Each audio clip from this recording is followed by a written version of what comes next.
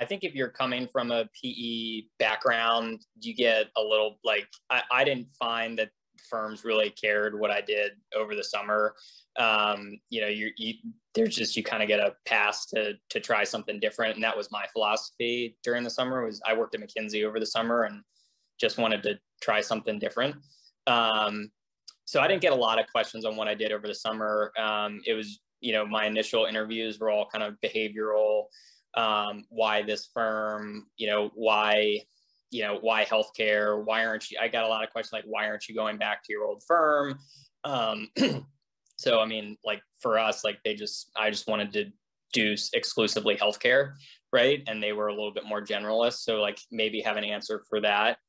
And then, you know, when it came to later interviews, it was case study.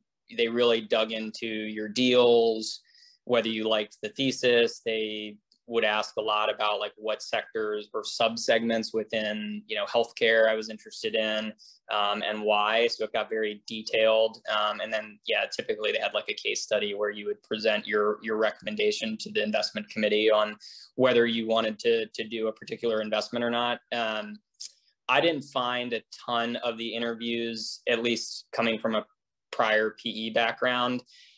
I say you I don't know, my experience was that you didn't get a ton of technical questions like in associate recruiting.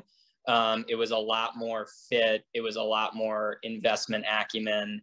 Are you going to be able to make decisions, run a deal process, you know, be able to handle uh, a deal from start to finish? Um, and I, I think that's probably where they pushed on the most.